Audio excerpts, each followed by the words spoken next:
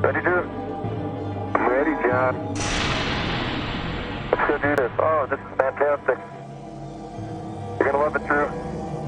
Looks nice.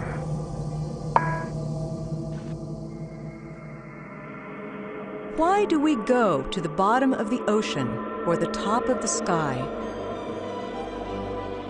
Why do we explore in the first place? It's humanity's ongoing pursuit of the unknown that drives us to explore the universe, to unlock its mysteries. We don't have to travel far to be immersed in the unfamiliar. The universe holds many secrets, and we are in a golden age of discovery.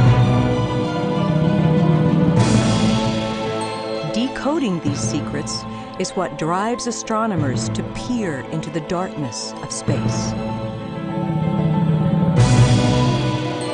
Light from the most distant objects reveals the structures of our universe.